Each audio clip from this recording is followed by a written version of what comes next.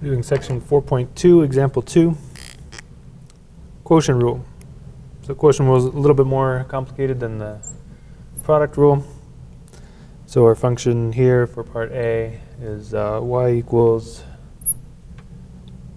8x minus 11 over 7x plus 3. Okay, so again, uh, quotient rule is a little bit more complicated. Let me just go ahead and write it up here. Um, so we have it, the guide for us. So it's v of x, u prime of x, and then minus u of x,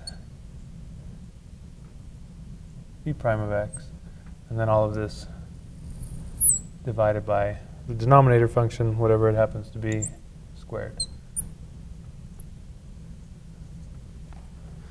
If I can get a little squeaky marker here. All right, so notice that in the numerator of the quotient rule, it really matters that you get this order correct here. Um, if it doesn't matter so much in the product rule because that's a, a, plus sign there. Um, the way that I kind of, I sometimes tell my students to remember this is uh, a little memory aid. The quotient rule really says this, low times the derivative of the, the high function, so d high minus high times the derivative of the bottom function, that's d low. And then, of course, this is all divided by the low function squared. So if you want to remember it like this, low d high minus high d low, and then the low squared in the denominator. So uh, maybe with that in mind, we can say, let's see, for part A here, um, dy dx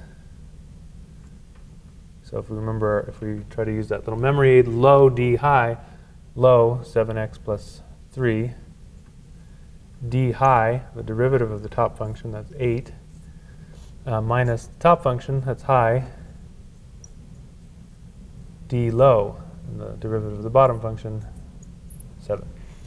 All of this divided by the bottom function squared, so 7x plus 3 squared.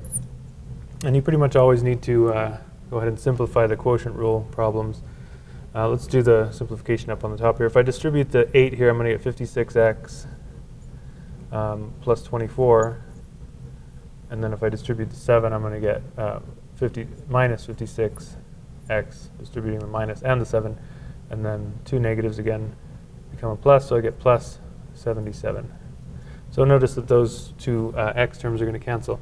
So when we simplify this, all we're going to have in the numerator then is 77 plus 24. That's what, 101, I guess. So we'll have 101 over 7x plus 3 squared. So there's our final simplified derivative for that one. Let's do part B. So similar idea, if you want to use that memory aid, might make things a little bit easier. So our derivative here, or our function here is minus x squared plus 8x over 4x squared minus 5.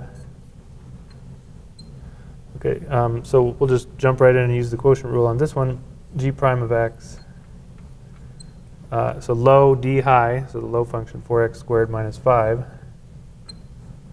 d high, that's the derivative of the top function, it's going to be minus uh, 2x um, plus 8 minus high d low, so this is negative x squared plus 8x. There's the derivative of the bottom function, which is just going to be 8x.